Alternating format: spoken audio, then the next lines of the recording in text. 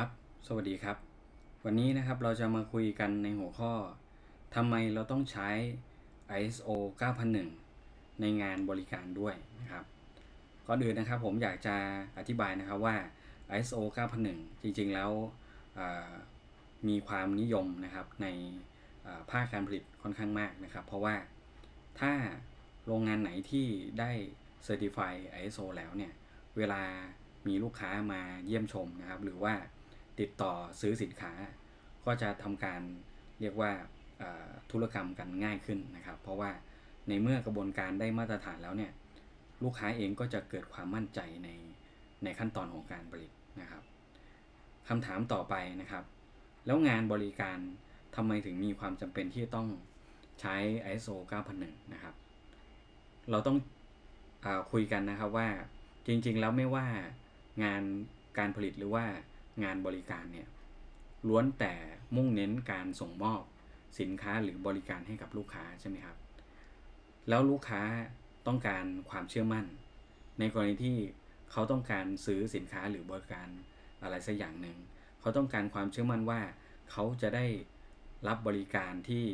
มีมาตรฐานนะครับ แล้วก็มีความชัดเจนนะครับ เช่น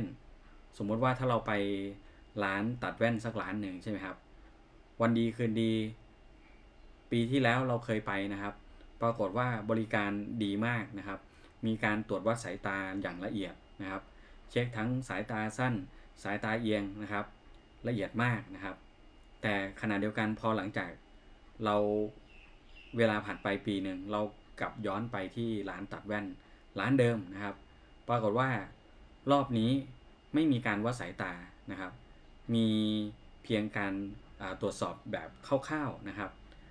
จนเรารู้สึกว่าทำไมไม่ตรวจละเอียดแบบเดิมล่ะนะครับ อาจจะเกิดจากการที่เขาต้องการที่จะลดขั้นตอนในการทำงาน หรือ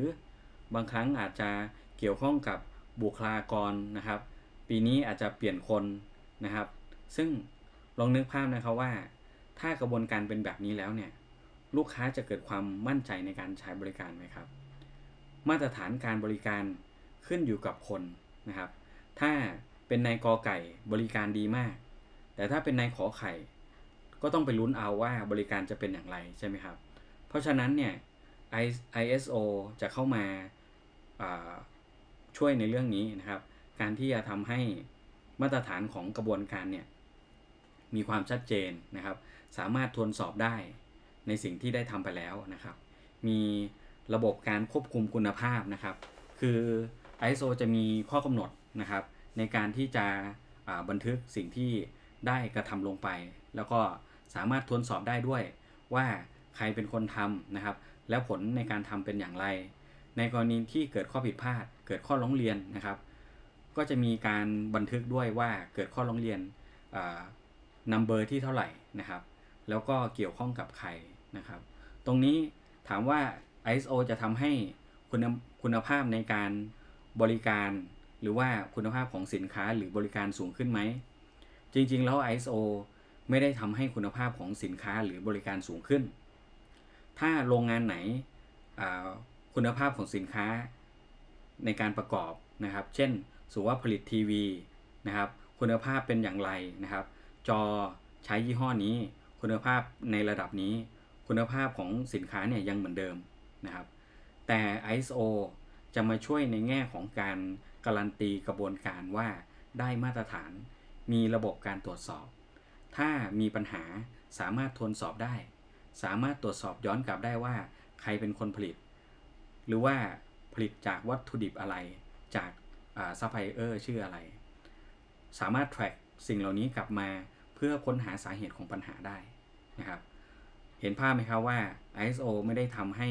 คุณภาพของสินค้าหรือบริการสูงขึ้น แต่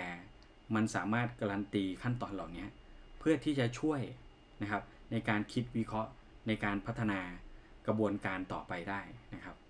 ถามว่าถ้าไม่มี ISO แล้วจะเกิดอะไรขึ้นลองนึกภาพนะครับว่า ถ้าเกิดปัญหาเกิดขึ้นอะไรสักอย่างหนึ่งถ้าท่านจะต้องการข้อมูลในการคิดหรือว่าวิเคราะห์ถึงสาเหตุของปัญหาเหล่านั้น ท่านไม่มีการบันทึก ท่านไม่มีอ่า การควบคุม หรือว่าทวนสอบกระบวนการใช่ไหมครับ ท่านสามารถที่จะวิเคราะห์หาสาเหตุของปัญหาได้เหรอครับ ท่านอาจจะต้องมีการประชุมแล้วก็เก็บข้อมูลเขาเรียกว่าเป็นแบบแอดฮอกถามนายกอไก่นายขอไข่ถึงที่มาที่ไป ถามทีละคน 2 คนใช่ไหมครับ ถามว่าถ้าวันหนึ่งเนี่ยมีข้อร้องเรียน 10 ข้อร้องเรียน ท่านทำอย่างนี้ได้ไหมครับ ถามไปทีละคนทีละคน ไม่มีข้อมูลในมือใช่ไหมครับ แต่ถ้าใช้ระบบ ISO สิ่งเหล่านี้ถูกบันทึกไว้เรียบร้อย พอเกิดเหตุขึ้น ท่านสามารถไปเอาข้อมูลเหล่านี้ขึ้นมาทบทวนขึ้นมาตรวจสอบได้ทำให้ท่านย่นระยะเวลาในการตรวจสอบสาเหตุของปัญหา สามารถไปที่การแก้ปัญหาได้ไวขึ้นใช่ไหมครับ เพราะฉะนั้นเนี่ย ISO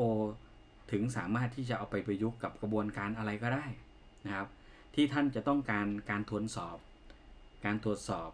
นะครับ แล้วก็ให้มันมีความชัดเจนในขั้นตอนของการทำงานนะครับ ถามว่าถ้าท่านไปร้านตัดแว่นใช่ไหมครับ ร้านหนึ่งไม่มีขั้นตอนที่ชัดเจนในการให้บริการ กับอีกร้านหนึ่งมีขั้นตอนชัดเจนมากนะครับ มีตัวชี้วัดด้วย ว่าถ้าท่านเข้าไปในร้านภายใน 5 นาที